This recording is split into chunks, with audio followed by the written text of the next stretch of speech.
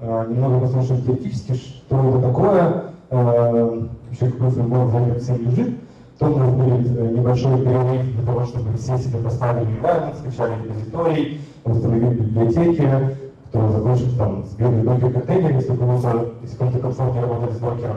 Ссылка на репозиторий, как и на саму презентацию, есть в канале. Ну, то есть э, есть ссылка там на репозиторий, внутри есть ссылка на презентацию. Эм, вот. Э, после маленького э, перерыва, когда я помогу всем, у кого не получилось настроить, и подождем, пока все настроят себе environment, будет полчаса практически, где мы, по сути, заикрейтим все, что нам обсудим в первые полчаса. И потом оставшееся время будет на вопросы. Итак, э, да, еще раз обо мне. Э, там я немного даты, он э, отличается от того, который на выйдет. На самом деле, мы живем в Innovation. Э, я уже работаю приблизительно почти два года. До этого работал э, в Ринге, который сейчас Amazon, и в Deposit Service. В этой еще презентации ссылка на мой GitHub, на LinkedIn. Э, на GitHub есть э, этот репозиторий со всеми э, со всеми материалами для такого воркшопа. Вот. И, в принципе, там, пару слов, чем занимается Innovation, мы на самом деле делаем три вещи, делаем платформу для деплернинга, это не я могу сказать, за синапик, у нас сейчас пару модель, то есть на live нужно попробовать. Если будет интересно, просто подойдите ко мне. Мы занимаемся еще сервисами на платформе, если к нам приходит какая-то компания и хочет заутсорсить решение machine learning, мы делаем это для нее. И мы занимаемся ресерчем по статическим данным. Вот. Э, это приблизительный список материалов, которые покрывает этот доклад. Это список статей и список разных tools на GitHub. Э, если вы хотите глубже разобраться в этой теме дома самостоятельно, э, это есть еще репозитории и презентации тоже продублированы. Вот. Итак, давайте начнем с того, вообще, перед тем, как приступать к Distillation, к тому, э, какую проблему мы вообще хотим решить. В, в сервисах, когда мы заимплементили какое-то решение, э, да, там, добились хорошей точности, и у нас есть готовая модель, неважно, для компьютер vision, либо для NLP, либо это, ну, в редких случаях это классический, CV, э, классический machine learning, нам нужно ее задеплоить в продакшн. И задеплоить причем так, чтобы, во-первых, оно работало, и работало не очень дорого. Э, например, э, ну вот э, в Ring е был use case, когда нужно задеплоить на миллионы пользователей модель, и если это будет какая-то тяжелая deep learning модель, которая классифицирует видео, это будет очень-очень дорого. Просто нецелесообразно, поэтому некоторые модели просто не идут в продакшн из-за этого. Вот. Точно так же у нас, у нас есть много случаев, когда нужно деплоить на девайс, и э, тут уже не получится большую модель на него задеплоить. Поэтому, когда вы приходите к тому, что у вас есть уже продакшн, э, и вы закончили development, самой модели, самой машин learning части, у вас, э, кроме метрики как точность, ну, какая-либо у вас на вашем датасете метрика, там, э, map или F1 score, у вас еще возникают дополнительные метрики. Ну, как правило, они сводятся к флопсам, flow point per second, и размеру самой модели. Ну, есть очень отличная статья. Кстати, от, один из авторов — это топ-1 контрибьютор PyTorch, э, где ребята берут все модели и, ну, для классификации, потому что это проще всего сделать, и эвалюируют их в терминах э, ну, гигафлопса, то есть сколько миллиардов флойтов, флоут-поинтов операций делает модель за секунду и сколько она занимает места. Это как бы говорят, что типа да, инсепшены это классно, разнеты тоже классно, и там наснеты, но на самом деле, когда это доходит до продакшена, то они э, не совсем не совсем полезны. Вот. Э, и, ну, как я уже сказал, обычно там думают в терминах либо флопсов, сколько, то есть сколько модель работает, э, либо в мегабайтах, сколько места она занимает. Э, как правило, если вы работаете в клауде, то вас интересуют только флопсы, и, в принципе, скорее всего, до гигабайта места жесткого диска у вас найдется, и в оперативной памяти тоже найдется. Если вы же работаете на девайсе, то память, то память тоже для вас концерн. Потому что, например, вот в ринге на самом-самом слабом девайсе, по-моему, э, до 150 мегабайт всего, куда нужно поставить операционную систему, прошивку и все остальное. Вот. Э, и на, на Machine Learning части остается очень мало. То есть туда даже PyTorch не поставишь, который весит 500 мегабайт. Вот. Э, поэтому там концерн не только, не только сколько она ранится, но еще и место, которое она занимает. Я всех э, мотивирую прочитать эту статью. Э, она очень классная. Здесь на самом деле простой график, где это accuracy, которая у нас получается, сколько она операций выполняет, а размер — это то, насколько сколько много параметров в вашей модели. Мы во второй части отрепродюсим кусок этого графика, чтобы вы могли сами попробовать это сделать руками. Там есть довольно много аналитики, Э, в плане, как это связано еще с батч-сайзом, потому что у вас может быть разные use cases, когда вы обрабатываете э, в э, бэкграунде и обрабатываете батчами, либо когда вы обрабатываете в реал-тайме, и у вас батч всегда, всегда один. Вот. Так, что он перестал работать. Сейчас переключу, извините. Вот. Можешь переключать? Спасибо. На GitHub на самом деле есть очень-очень много тулзовин, которые делают разные бенчмарки, которые по-разному анализируют. Э, и ну вот здесь, например, э, вот есть ссылки на все это, что здесь показано. Здесь есть архитектура, э, сколько параметров у нее и сколько float operation она делает за, за секунду. Вот. И, как правило, такое можно построить для, для object detection модели, для semantic segmentation, для, для разных, совершенно разных моделей, которые вам нужны. И мы сегодня тоже такое как раз э, вами сделаем. Можно следующий слайд? Спасибо. Э, но теперь понятно, что за проблему мы хотим решить. То есть, э, когда мы выходим в продакшн, у нас есть большая модель, которая имеет хорошую точность, но она может быть либо медленная, либо очень большая. И мы не можем просто, это нецелесообразно запихнуть ее там, на, на, на миллионы пользователей, э, потому что это просто съест все ваши деньги на инфраструктуру, э, либо просто не влезет в ваш embedded device. Вот. Поэтому что мы хотим? Мы хотим ее уменьшить, уменьшить в терминах иногда памяти, в терминах чаще всего в терминах э, скорости, э, ну, чтобы она быстрее обрабатывала. И тут, как правило, есть несколько решений. Э, например, прунинг — это когда вы просто удаляете лишние нейроны из своей нейронной сети. Регуляризация — тут, скорее всего, имеется в виду не L2 регуляризация, а в плане, вот, э, когда с помощью регуляризации вы тоже выкидываете лишние слои. Например, как variational dropout, который там в статье, по-моему, в 68 раз уменьшили в ЭГГ и не потеряли в точности абсолютно. Квантизация — когда вы, по сути, просто на каждое число э, уменьшаете количество бит, в которые оно помещается. Вот. Knowledge distillation — то, о чем мы сегодня поговорим. И conditional computation — это, по сути, ну, если вы работаете с TensorFlow, это то, что он иногда делает, когда оптимизирует граф вычислений. Можно следующий. Э, и сегодня мы поговорим только о knowledge distillation, и это будет нашим главным объектом исследования. Э, но, как правило, э, все эти техники сопряжены, ни одна из них не используется вот только вот я использую только прунинг и все. Как правило, вы используете несколько из них и, и комбинированно их используете. Вот, можно следующий слайд. Спасибо. Э, итак, вообще, если начать с самого-самого начала, когда появилась, появилась Knowledge Distillation, первая статья, вот, на которую ссылается и Хинтон, в своей оригинальной статье про knowledge distillation и все последующие работы. Это статья 16, 6 э, года от Корнелла. И они еще даже не использовали там такого термина, как knowledge distillation, они просто называлось model compression. И у них была такое, если, если сделать небольшой абстракт, то это будет как бы, как они скомпрессили модель, модель с помощью синтетических данных. Это на самом деле очень прикольно, они везде используют термин синтетические данные, но это не совсем то, что вот мы сейчас понимаем под синтетическими данными. Итак, если начать с проблемы, они взяли, это был классический email, то есть без нейронок, без какого-либо компьютер-вижена, они взяли вот обычные датасеты, например, первый датасет — это датасет взрослых, где всего 14 атрибутов, там пол, э, возраст, еще что-то. Вот. И нужно было предсказывать, зарабатывает ли человек больше 50 тысяч в год, либо меньше 50 тысяч в год. Скорее всего, вы видели все эти датасеты в каких-то туториалах, там, либо онлайн-курсах. Это сейчас очень популярно. Вот.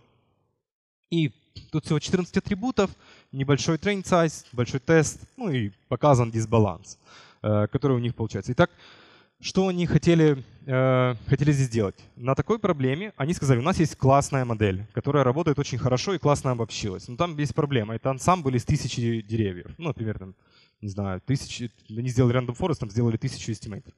Вот. Э, и оно все работает круто, но, опять же, мы в продакшн не пойдем с тысячей моделей. Вот подобный use case на самом деле... Нет.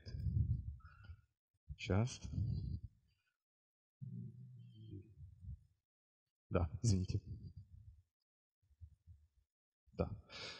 Подобный use case на самом деле часто встречается на Kaggle, когда вот не говорится о нейронках, вы просто настакали модели, сделали ансамбль, и у вас просто там 350 моделей работают, но в продакшн 350 моделей деплоить ради одной задачи никто не будет. Вот. И сказали, хорошо, давайте мы попробуем скомпрессить этот огромный ансамбль из тысячи деревьев в какую-то одну простую модель. И как мы это сделаем? Мы это сделаем с помощью синтетических данных. Э, что они имели в виду? Они имели в виду, что мы соберем а, неразмеченные данные из интернета, но если нет такой возможности, мы их просто сгенерируем. Э, сгенерируем, разметим их с помощью нашего ансамбля, который очень-очень точно и классно обобщился, ну или мы верим, что он обобщился. И потом натренируемся на этих данных нашу маленькую-маленькую модель, но уже на огромном количестве данных. И скажем, что таким образом мы как бы скомпрессием этот ансамбль в маленькую-маленькую модель. Э, да, спасибо. Как они генерировали синтетические данные? Э, на самом деле они использовали э, три метода.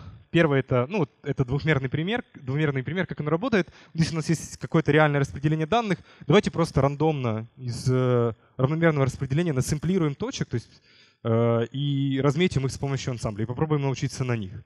Вот. Как просто это как будто, как будто если вы с нейронками это делаете, вы просто рандомный шум подаете вместо картинок.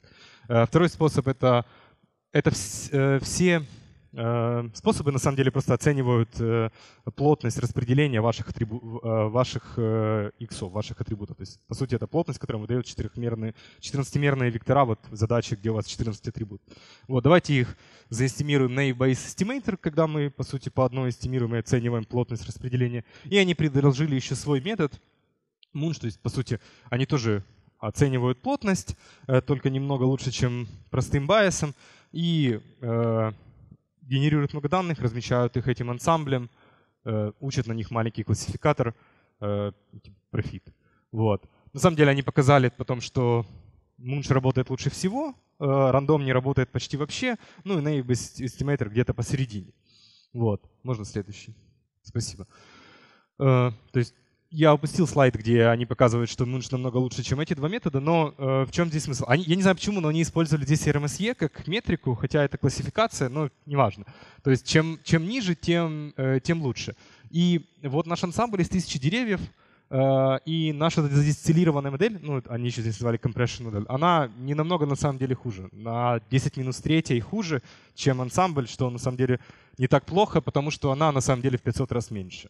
Вот. Это основной поинт статьи, что мы э, взяли какую-то проблему, натренировали на ней э, тысячу ансамблей, которые обобщились, э, тысячу ансамблей из тысячи классификаторов, сделали э, unsupervised данные с помощью от того, что оценили плотность. Ну, если бы это мы сейчас перевели в тему нейронок, мы бы GAN натренировали, например, который бы нам насэмплировал много-много данных, разметили этих данных нашим, нашей большой нейронкой и научились на этих данных. Вот. Э, вот такая первая статья про то, что называют knowledge distillation, когда э, на самом деле еще так никто не говорил, на которую ссылаются Хинтон и все остальные. Можно следующий слайд. Спасибо. Э, итак, где появился этот термин изначально? Он появился у Хинтона в 2015 году, и он предложил общий фреймворк на основе этой статьи Model Compression от Корнелла. И э, общий фреймворк подразумевает следующее, что у нас есть teacher model, это какая-то если я буду, я буду говорить в терминах нейронных сетей и классификаторов, э, просто чтобы какие-то конкретные примеры приводить. Например, teacher model у нас NASNet, вот, которая очень-очень большая, но ранится она просто вечность, тренируется долго, но она очень точная. Вот. Э, и есть student model, это какая-то слабая модель, скажем, это очень-очень обрезанный сквизнет, который вы можете задеплоить на какой-то ну, мощный девайс, либо вы можете задеплоить это в клауде на CPU. Вот. Э, и как у нас происходит обучение э, вот стандартно, если мы говорим о классификации в нейронных сетях, то у нас есть э, ground truth, это Хинта называет hard label. По сути, это э, one hot encoding. Например, если у вас проблема котовый собак, то это, по сути, будет вектор из нуля и единица. Да, если это 0, единица это будет код, единица и 0 это будет собака. Вот. Вы считаете softmax, это называется hard prediction — вы считаете loss function, ну, которая здесь может быть какая-то кросс-энтропия. Если у вас задача регрессии, это будет э, mean square error, ну, неважно. Вот. Что значит hard prediction? Э, softmax имеет параметр, температуру. По сути, это поделите каждый элемент в формуле softmax на t большое, и это будет softmax температуры. Это гиперпараметр, и по сути, если вы устремите температуру к бесконечности, то вы получите равномерное распределение. Если вы, если вы поставите t равным единице, то вы получите обычный softmax, который вот э, обычно чаще всего применяют. Зачем это нужно?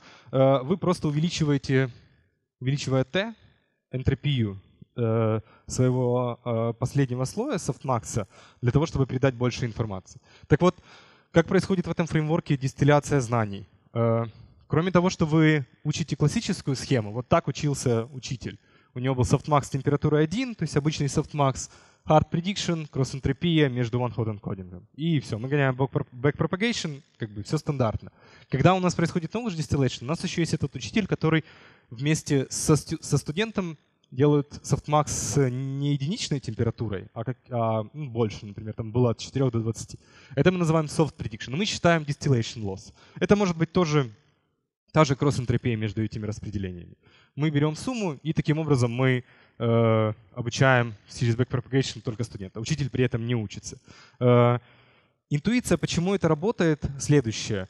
Э, представьте, что вы учите ту же проблему котов и собак, и у вас есть там ну, каких-то два, два примера. Э, например, э, для hard label на этот вектор будет 0 и единица э, для какой-то кошки. А soft label, например, если эта кошка похожа на собаку, то это, скорее всего, будет 0.2 для собаки и 0.8 для, э, для кошки. А для кошки, которая не сильно похожа на собаку, это будет там 0.001 для собаки и девятка для кошки. То же самое для цифр МНИСТа. Э, soft, для, у soft labels вес у тройки и у восьмерки будут немного выше.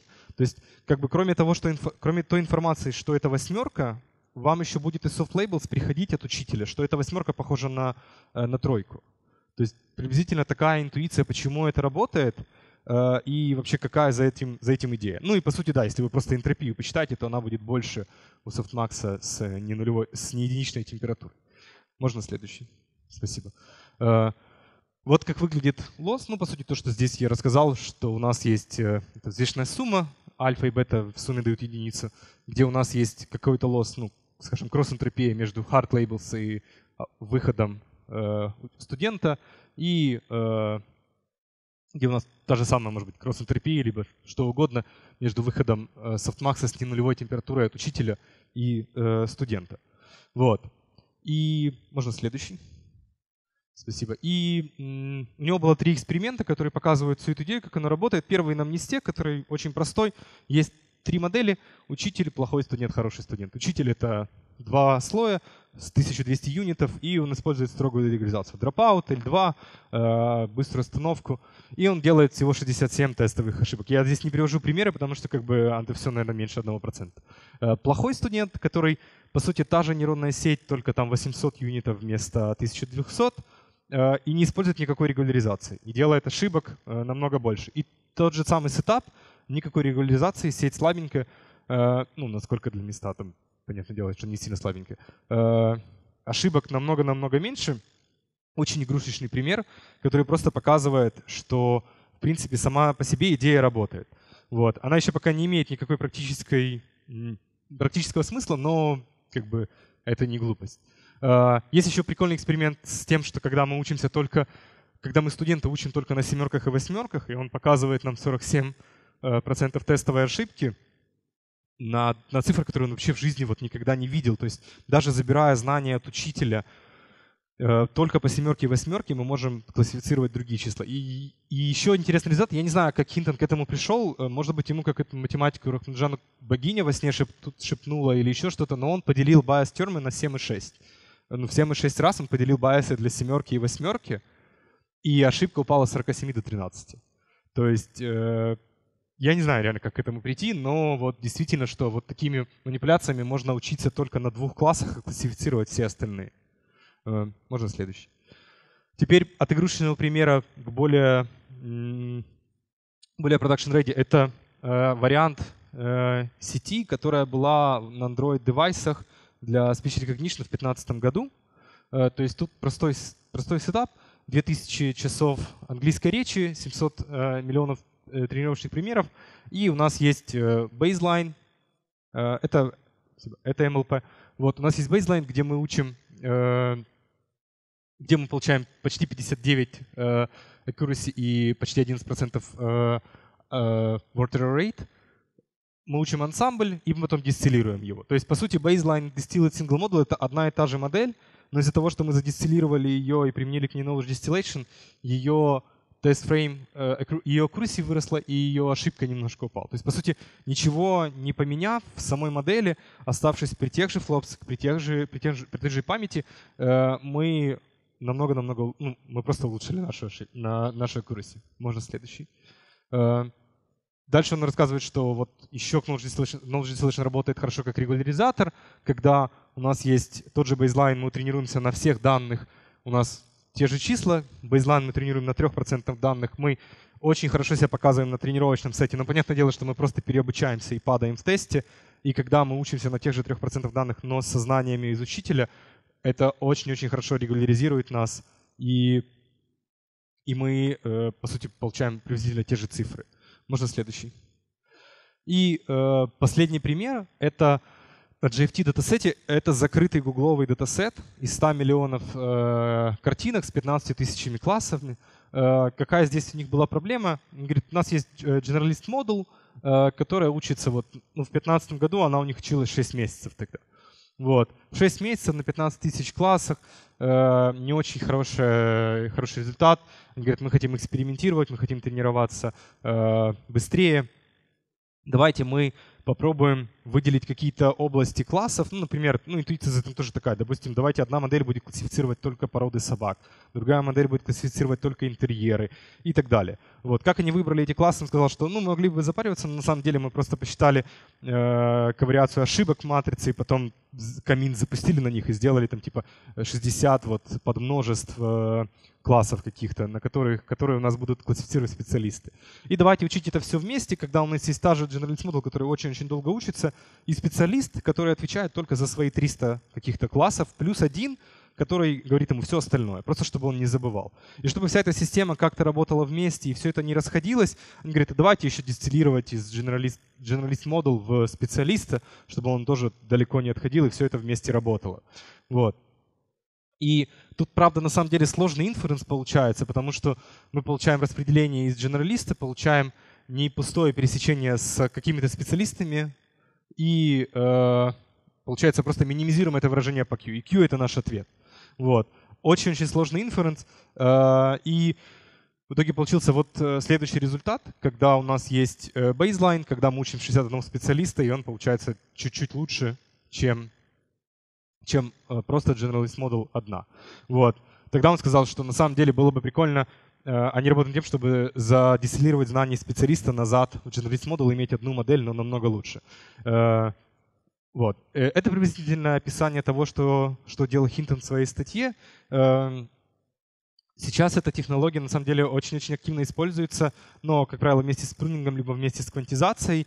Э, state of the art в квантизированных сетях сейчас получен Intel, кстати, с помощью knowledge distillation. И э, это часто используют в NLP в разных областях. Мы конкретно это используем для того, чтобы у нас есть, например, один клиент, который занимается классификацией, ну, мы, мы делаем ему сегментирование медицинских инструментов, у него 300 тысяч классов. Вот. И 300 тысяч классов в одну модель никогда не получится запихнуть, поэтому просто разбили их на какие-то модели. Ну, мы так в одну и не запихнули на самом деле, но мы просто очень сильно уменьшили количество моделей где-то в 10 раз, э, задистиллировав, допустим, если у нас есть там, 60 классов, 60 инструментов в одной модели, 60 инструментов в другой модели, намного эффективнее задистиллировать из них в одну модель, при этом обучаясь на всех этих инструментах, чем просто ее учить на всех 120. Это просто, э, скорее всего, сойдутся они к одному и тому же, но мы просто быстрее это получаем и экономим таким образом вычислительные ресурсы и все остальное. Вот. Э, можно следующий слайд? Э, теперь давайте перейдем к практической части. Давайте сделаем сейчас небольшой перерыв на 5 минут, э, где вам нужно будет, я пересяду за компьютер, а вам нужно будет скачать репозиторий и установить requirements к себе, либо сбилдить докер, ну, то, как вы привыкли работать. И да, в течение этого перерыва я просто могу подойти к кому-то, помочь это настроить, если не получается, или, или так далее. Вот. Все, спасибо. Это первая часть была теоретическая. Давайте теперь это все, все закодим.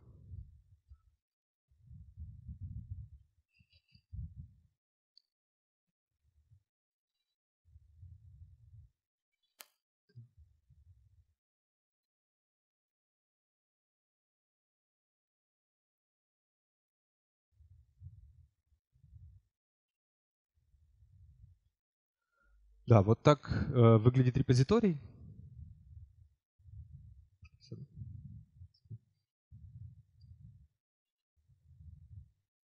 Э, вам нужно просто его скачать, ставить в любую директорию, какую вы хотите. И здесь есть инструкция, как...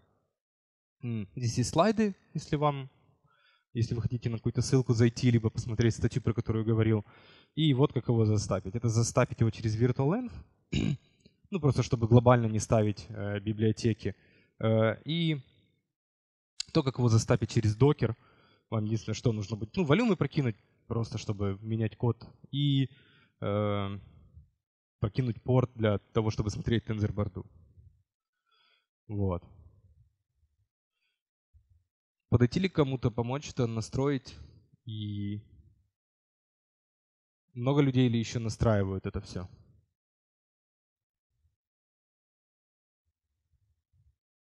Да, давайте 5 минут сделаем перерыв, когда э, все это настроят, и через 5 минут я включусь снова и начнем, начнем писать код.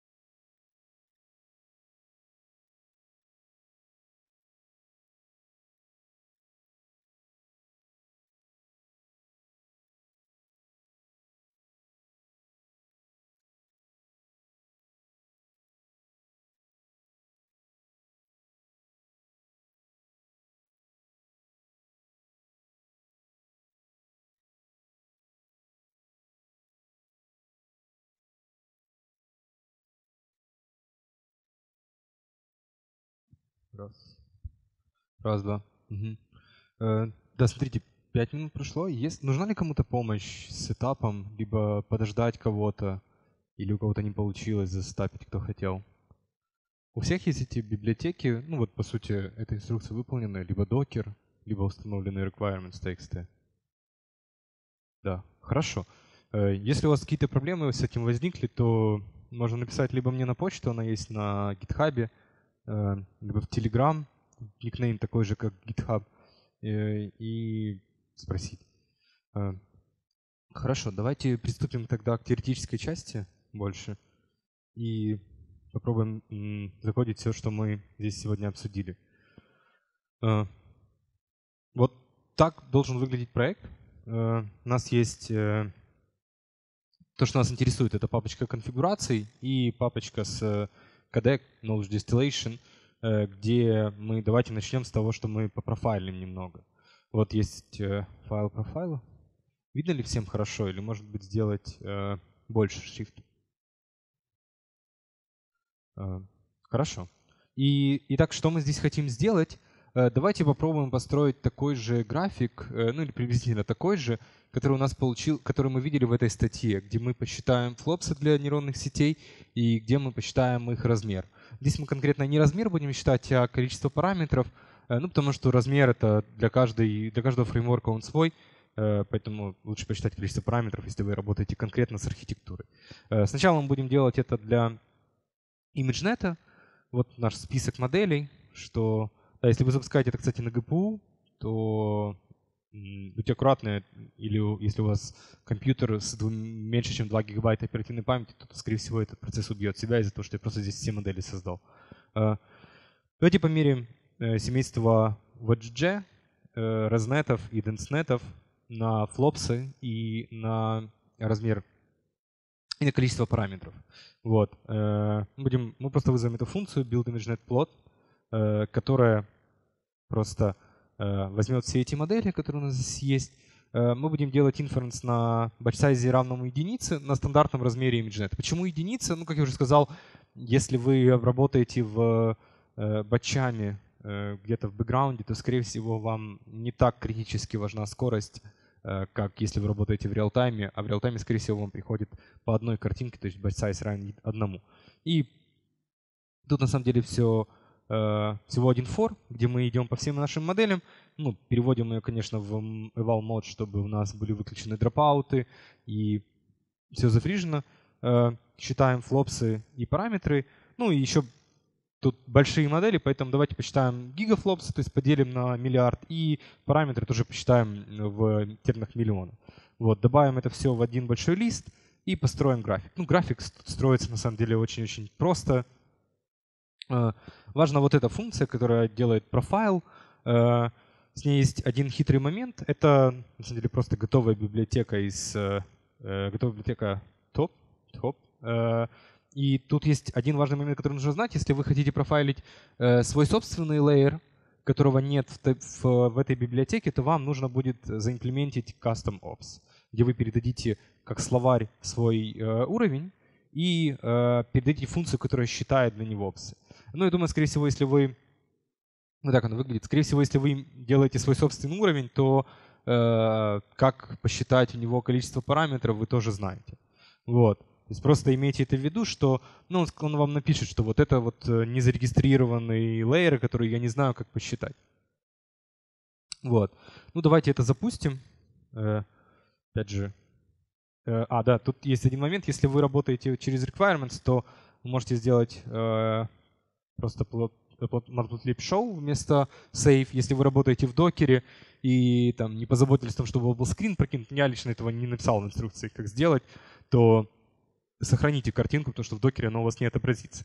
Так я работаю через requirements, э, ну, через virtualenv, то у меня может отобразиться этот, этот график, и просто запустим profile.net. Вот. Ему нужно немножко э, потупить, да. И что важно еще сделать, это прописать Python Pass, либо запускать просто через M. Ну, я предпочитаю прописать Python Pass. Вот, им нужно немножко потупить, пока он это все запустит, э, потому что он как бы создает все модели. И на самом деле сначала хотел это сделать пример с э, классной библиотекой э, Pretrained Models, но там, а вот, он запускает все это, регистрирует все уровни, считает для них флопсы, считает параметры. Э, вот приблизительно вот так вот такую, такой CSV он делает в конце, модель, сколько у нее параметров и сколько она занимает ресурсов вычислительных. Выглядит это приблизительно вот так. Э, то есть, ну, мы видим, что вот ResNet и DNSNet где-то в одной области, VGG у нас далеко-далеко высоко. Э, и вот, например, видно, что у VGG 19, да, 100, 100, почти больше 140 миллионов параметров. И если вы смотрели на эту архитектуру, то там 130 миллионов из них это в первом full connected слое, э, который на самом деле... Причем эта архитектура не лучше, чем ResNet. ResNet 152 здесь самый, самый лучший. Вот. Ну и в зависимости от вашего трейдофа, какой, какого количества э, флопсов вы можете себе позволить и сколько параметров у вас э, помещается на, на девайс, вы выбираете свою архитектуру. Ну, желательно это автоматизировать. Э, у нас, в принципе, в виде фреймворка, когда мы просто закидываем модели, у нас тоже достраивается эта точка, когда мы, когда мы что-то уменьшаем. Если же интересное упражнение, это здесь добавить accuracy, этих моделей, ну, скорее всего, лучше просто не считать, лучше просто добавить этот еще одним э, элементом вот в этот э, массив, где у нас, ну, этот tuple, где у нас хранятся все эти данные, и построить это вот график от accuracy точности и вот повторить, сделать этот маркер толстым настолько, насколько параметров вашей модели. Вот. Вот, в принципе, приблизительно как отрепродюсить тот график, который есть. Это, конечно, только для компьютер vision, э, но для LSTM, для NUB, я думаю, тоже несложно на самом деле посчитать, э, э, заимплементить кастомные функции, которые бы вам посчитали, сколько в LSTM флопсов и параметров. Вот. Конкретно сегодня мы будем работать с двумя моделями. Так как мы на своих собственных компьютерах без GPU, мы будем работать с Nistом, чтобы у нас получилось это все запустить. И мы будем работать с двумя моделями. Э, первая из них это э, студент, когда у нас просто э, multi-level perceptron на два уровня, по 100 нейронов в каждом. И учитель точно такая же структура, только у нас уже по 300 нейронов. Вот. Давайте построим для них такой же график. По сути, здесь вы просто меняете Э, вызываете другую функцию, build list plot, закомменчиваете ImageNet, и тут точно такая же структура нашей модели, которую мы хотим проэвалюировать, и input size только другой, потому что картинки черно-белые, batch size тоже единица, и 28 э, на 28 размерность картинок. Ну, точно так же считаем гигафлокс. Ну, здесь, наверное, даже можно посчитать не гигафлопсы, а мегафлопсы. Вот. И Давайте запустим и посмотрим, э, что, что получилось в итоге. Вот. Ну вот так оно выглядит на самом деле. Что у нас э, по количеству параметров они э, отличаются и по... Здесь, конечно, мегафлопсы неправильно подписано, потому что я поменял. Они тоже сильно отличаются. То есть учитель намного-намного тяжелее и намного медленнее, чем, чем студент. Вот. И Сейчас мы перейдем к именно части с Knowledge Distillation, когда мы попробуем студента, который намного меньше и намного слабее, э, то есть учитель намного мощнее, привести приблизительно к такой же точности, как и сам, э, сам учитель. Э, есть ли вопросы сейчас по этой части? Может быть, у кого-то не получилось это запустить или какого-либо другого рода вопросы, у кого-то не поставилось что-то и так далее. Угу. Хорошо. Вот как определять, репродюсить а, результаты той статьи. Э, ну, плюс это можно решать. Хорошим, как я сказал, упражнением будет это э, добавить туда точность и бенчмаркать в зависимости от того, что, что вам нужно для вашего конкретного приложения. Как я если вы работаете в клауде, то, возможно, вам не так важно количество параметров. Э, хорошо. Давайте перейдем к тому, что у нас э, с Knowledge Distillation получается. Есть э, один файл, который предлагаю запустить заранее. Это файл reproduce всего. Он, по сути, делает э, следующее. Он удаляет все, что мы сделали до этого. Он удаляет все логи тензорборды, и он удаляет все претрейн модели, и запустим эксперименты. Экспериментов у нас будет, самый главный файл у нас train вниз для этого. У нас есть, каждый эксперимент задается своим конфигурацией. У нас, мы будем учи, тренировать учителя. Это мы берем ту сеть, у которой по 300 э, юнитов в уровне. Мы будем тренировать студента, где он, где он намного-намного меньше. Э, и мы будем тренировать, им будем дистиллировать э, знания из учителя в студента э, двумя способами. То есть когда мы еще используем hard э, labels, то есть лейблы, которые нам пришли от самого места, и когда мы их не используем. То есть мы будем здесь вот unlabeled, мы тренируемся вот только на данных, которые нам пришли от учителя. Вот. Я просто предлагаю это запустить, потому что в зависимости от вашего компьютера это может быть раниться от пару минут до 10 минут, просто чтобы оно все появилось. Это можно запускать в разном, в любом порядке. Единственное, что э, учителя нужно запустить раньше, потому что он сохранит файл учитель э, в формате pytorch э, модели, потому что дистилляцию вы без него не сделаете, ну, потому что вы его тоже запускаете и э, из него достаете soft labels. Я пока запущу это чтобы он э, у меня учился. Ну вот он тут тратит время на то, чтобы скачать NIST э, и, все это заранее. Вот. Э, пока это все происходит, э, есть ли у кого-то проблемы с тем, чтобы это запустить этот скрипт? Может быть, э, кого-то не запустился или нет какой-то библиотеки, или есть другого рода вопросы? А, хорошо, я думаю, что за 10 минут он отработает, и мы посмотрим на результаты, которые у нас получились. А пока э, давайте посмотрим, да, что мы конкретно запустили. Э, ну, самый главный скрипт, который мы запускали, он находится здесь, train И тут, в принципе, более-менее начало стандартное. Мы импортируем наши модели, мы импортируем объект, который у нас инкапсулирует логику обучения и логику дистилляции. Ну и мы импортируем функцию, которая нам дает на самом деле местовый датасет. Вот. Тут мы считываем конфиг, э, который, который мы там сдали, э, достаем э, модель, в зависимости от того, что мы хотим, либо это студент, либо это учитель. Если это дистилляция, то это студент, то, что мы учим студентов всегда в дистилляции.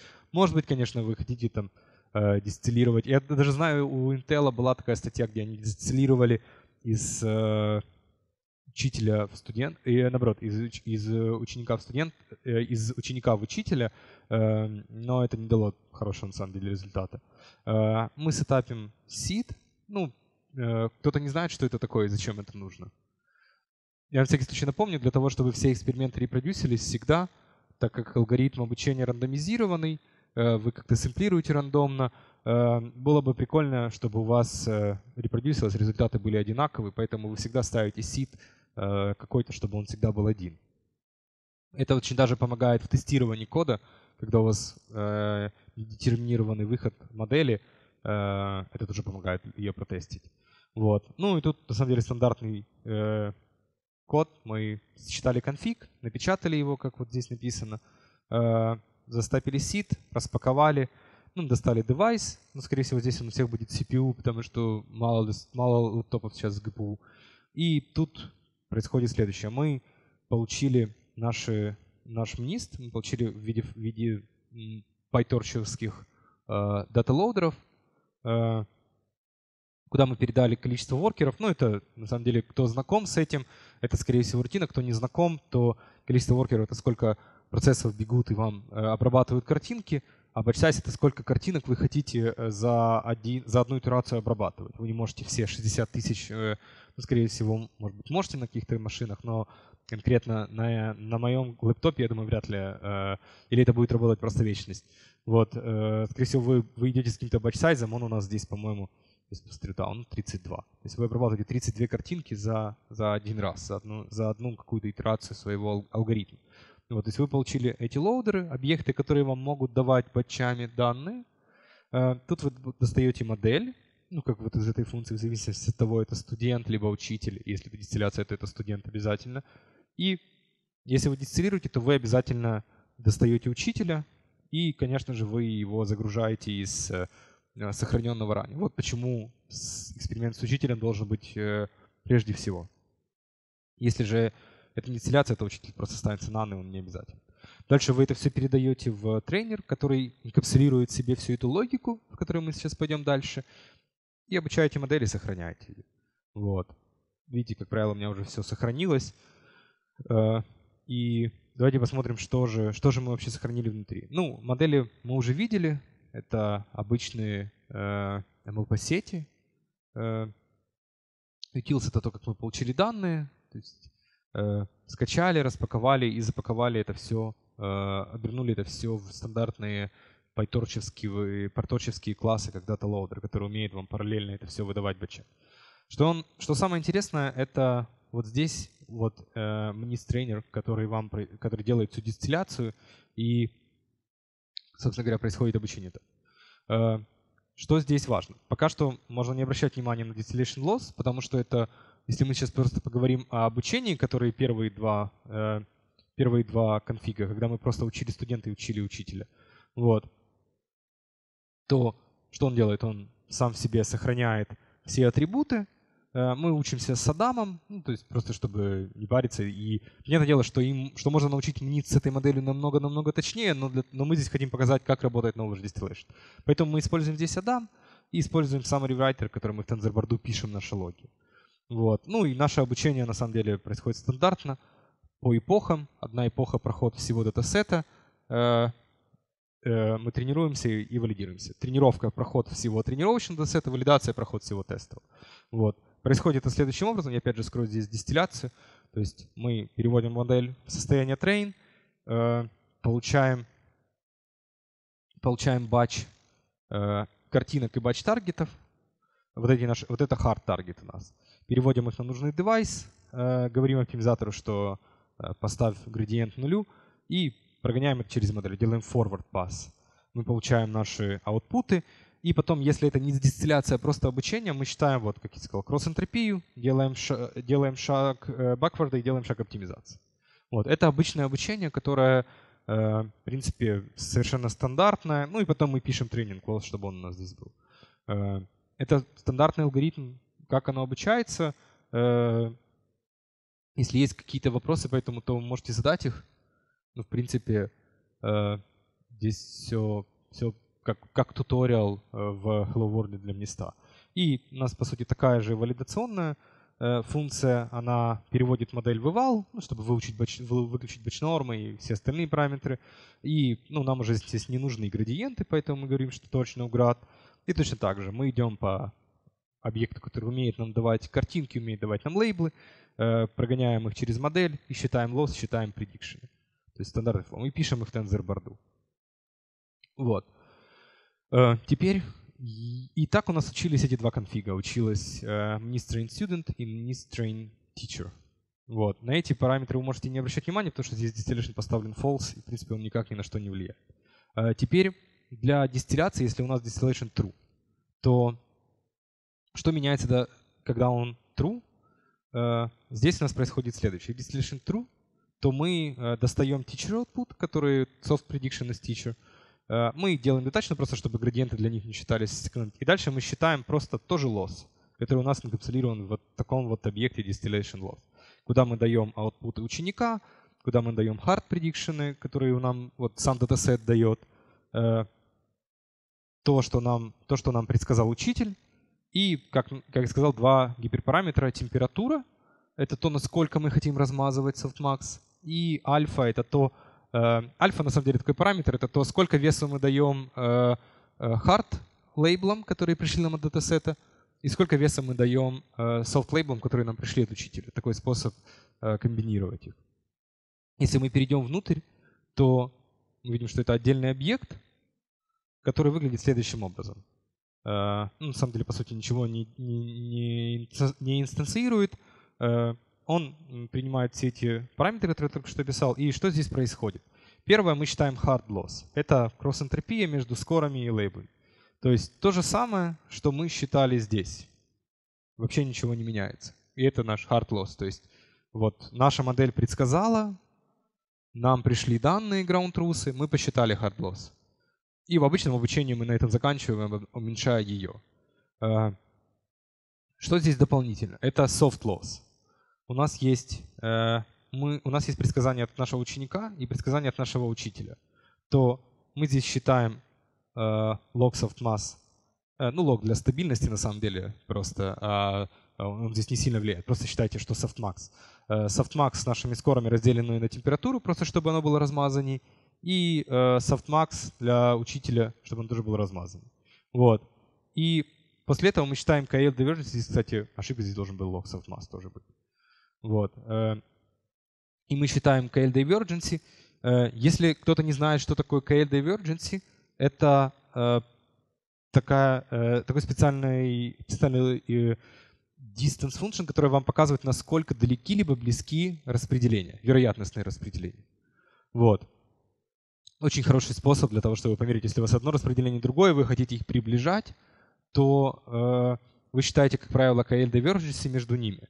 Э, тут, по сути, то же самое. Мы хотим ведь, чтобы нас, наше распределение э, ученика приблизилось к, к учителю. Вот, ну и нормируем на температуру. И после этого мы здесь точно так же. У нас есть наш альфа, то, сколько мы хотим отдать soft loss, и единица минус альфа, то, сколько мы хотим отдать loss. Вот. И мы просто считаем сумму. То есть э, в unlabeled примере здесь, если мы поставим альфа единицу, то у нас просто вот этот терм, вот этот терм будет нулевой и мы просто будем учиться только на лейблах из учителя. Вот. Теперь давайте посмотрим, что у нас получилось, потому что обучение закончилось. Э, что получилось, лучше посмотреть с помощью тензорборды. Э, если кто-то не знает, что такое тензорборда, это очень удобная тулза для того, чтобы смотреть логи э, обучения вашей нейронной сети. Она умеет очень много чего. Показывать графики в реал-тайме, текст, картинки. В общем, очень-очень много всего. Например, для ее часто используют для визуализации того, где ваша сеть хорошо работает, где плохо. И вот что у нас получилось. То есть давайте мы сначала посмотрим только на студента. Э, вот наш студент. И он как бы, ну, плохо научился на самом деле. Довольно низкая точность. Э, я думаю, его можно было научить намного лучше, но в таком сетапе он работает следующим образом. Вот наш учитель. Он работает намного лучше. Между ними очень-очень большой гап. Э, эти сети обе можно было его научить намного лучше. Но э, мы сделаем так, чтобы просто посмотреть, работает ли Knowledge Distillation. И теперь давайте посмотрим вот на Knowledge Distillation, который мы, сетку, которую мы учили с помощью вот этого лосса, вместо только не кросс, э, которую мы добавляли не только кросс-энтропию, но еще вот эту вот э, э, метрику, которая нам ну, расстояние между учителем и учеником их распределением. Вот мы учили его с температурой 20, и альфа была довольно высока, то есть 0,9. То есть мы, скорее всего, больше с 90% мы смотрели на то, что нам учитель рассказывает. И если мы добавим это, то увидите, что она э, намного выше, чем студент, который учился только на своих собственных лейблах. Вот. Что здесь еще интересно, если вы посмотрите на то, что мы здесь unlabelленные добавляли, если мы добавим их, то они приблизительно здесь точно так. То есть в этом случае, оно, конечно, видно, что э, оно не так быстро сошлось, как э, с помощью хард-лейблов, э, но тоже результат намного лучше, если, э, если мы просто вот в этом случае вот просто на данных, на э, софт-лейблах научимся. Вот. Э, вот такой приблизительно здесь э, результат получается э, и показывает, что вот в таком игрушечном сетапе, если добавить еще один лосс, по сути вот этот у вас просто вы не теряете ничего, остается та же модель, занимает столько же места, занимает столько же ресурсов вычислительных, она становится немного лучше. И по сути здесь вы можете даже инкапсулировать всю логику в этом distillation loss, даже учителя туда засунуть. То есть если у вас есть какая-то э, сложная, большая нейронная сеть, вы можете просто натренироваться, натренировать свою маленькую сеть с помощью нее и получить просто так буст в, в перформансе. Вот. Точно так же можно, например, если у вас нет э, куска датасета сделать, или, например, если вы хотите там э, схитрить и подхачить свою модель за счет каких-то открытых сервисов, э, тоже довольно прикольно. Вот.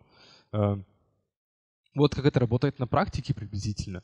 Давайте я немного остановлюсь и спрошу, всем ли понятно, что мы сейчас сделали, и, может быть, стоит к какому-то месту вернуться, еще раз по нему пройтись или объяснить какой-то код.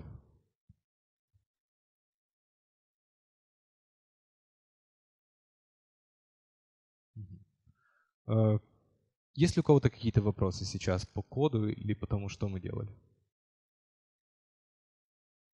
Э, тогда, э, если мы перейдем дальше, что, что делать дальше, это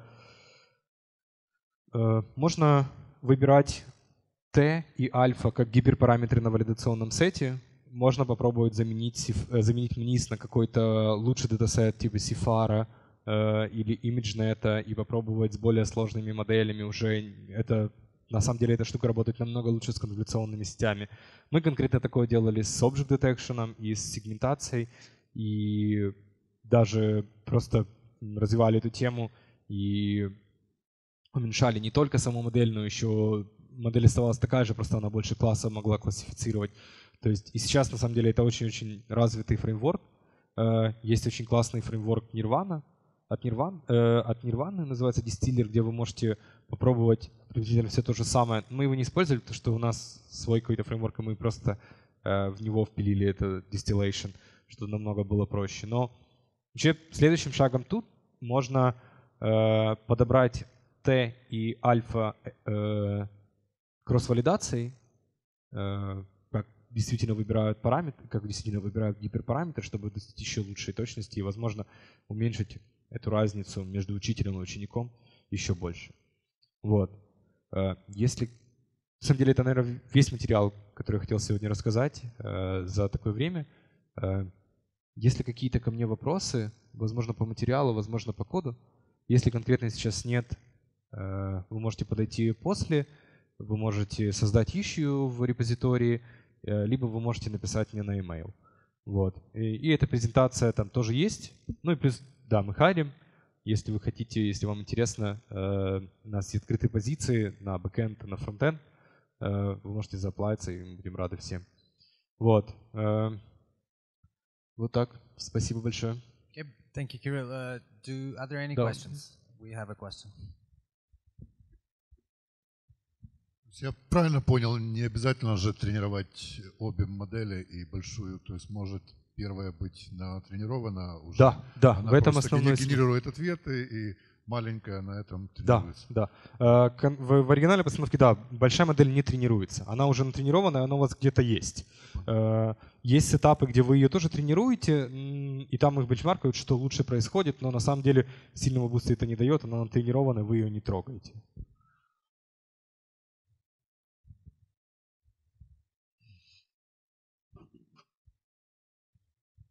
Спасибо за доклад. Возможно, я где-то прослушала, пока смотрела эту статью, но такой вопрос. А в каких еще сферах, в принципе, это можно использовать? То есть, я, насколько я поняла по статье и, в принципе, по воркшопу, это наиболее часто используется в компьютер vision, но э, знаете ли вы, возможно, про какие-то advances и какое-то использование в других сферах? И, ну, то есть, как вы видите, в каких сферах это еще наиболее хорошо зайдет, где это можно имплементировать? Этот Да. Э, спасибо. Общ... да, спасибо за вопрос. Э, общий ответ такой, что в принципе это зайдет везде, где есть большие модели, которые нужно уменьшить. Э, например, э, это применяют, да, это, чаще всего это применяют в компьютер vision, потому что там самые тяжелые модели. Я видел, что DeepMind это в работах применяет в NLP, они точно так же уменьшают свои модели, но, скорее всего, это тоже, когда мы говорим о нейронных сетях, и в аудио. То есть везде, где, есть, где используют тяжелые нейронные сети, эту технологию применяют.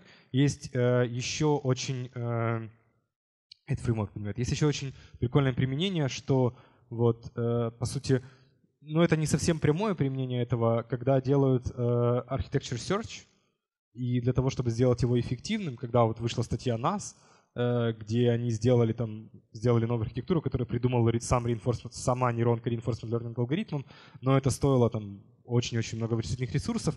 Они сделали ENAS, Effective Neural Architecture Search, и они там использовали Knowledge Distillation для того, чтобы ускорить это как раз. То есть э, такие, по сути, э, такие смежные применения к этому тоже есть. Но в основном, в основном, да, в основном это, к сожалению, компьютер vision, и когда у вас есть огромная сеть, вам нужно ее уменьшить.